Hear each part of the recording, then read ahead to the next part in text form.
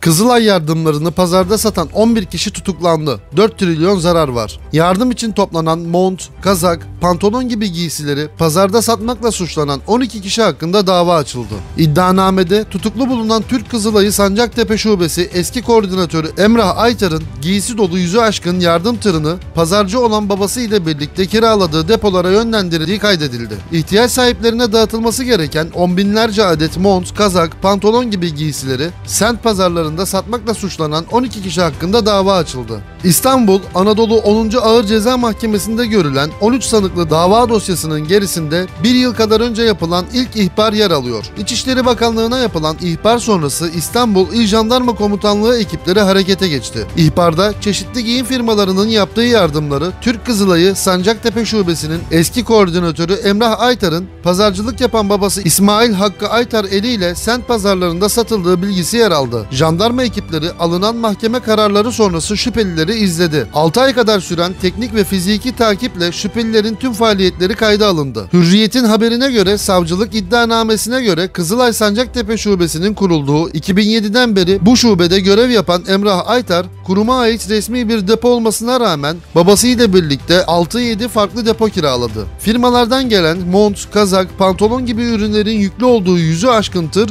bu depolara sevk edildi. Depolara indirilen mallar çeşitli sent pazarlarında satılmaya başlandı. Pendik ve Çekmeköy'ün yanı sıra Kırklareli, Tekirdağ, Edirne ve Kocaeli Kartepe'de de pazar tezgahları kuruldu. Günlük 100-150 lira yövmiye ile çalışan 5-6 kişi ürünlerin satışını yaptı. Günlük toplanan 7-8 bin liralık hasılat ise İsmail Hakkı Aytar veya oğluna teslim edildi. İddianameye göre birçoğu Sancaktepe ve Sultanbeyli'de bulunan depolardaki mallar gece geç saatlerde çıkarıldı. Sent pazarlarına gönderilecek ürünlerdeki barkod ve etiketlerin kesilmesine dikkat edildi. Mallar sent pazarlarına sevk edilirken soruşturmayı yürüten jandarma personeli de adım adım takibe geçti. Kimliklerini gizleyen soruşturma ekipleri açılan her pazar tezgahından ücretini ödedikleri birkaç ürünü de delil olarak yanlarına aldı. Jandarmanın operasyonu sırasında yapılan aramalarda en çok para ve altın İsmail Hakkı Aytar ile birlikte yaşadığı eski eşi Hatun Yalçın'ın evinde ve banka hesaplarında bulundu.